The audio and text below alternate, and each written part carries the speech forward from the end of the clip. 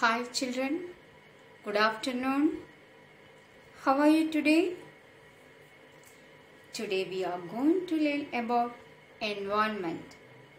Children, what is environment? Our environment have many natural and man-made things. Look children, first one, I love my family.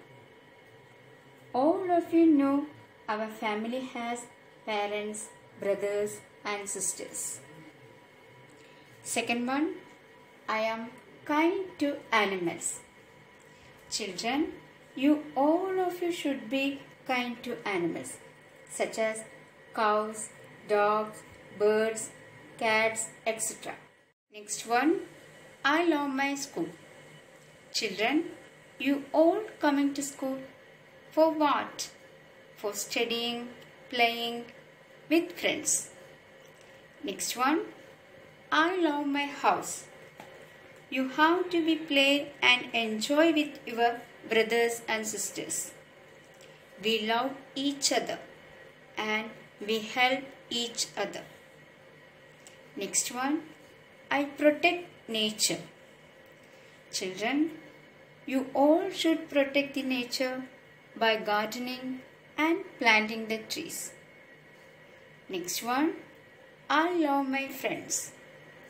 Friends play with us and friends study with us.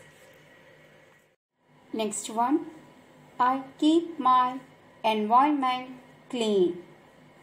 Keep our surroundings clean and healthy by putting the waste only in the dustbin. Next, I am part of this beautiful big world.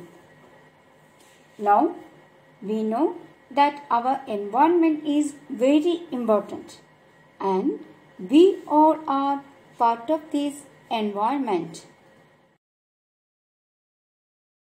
That's all for today. Bye. See you next class. Thank you.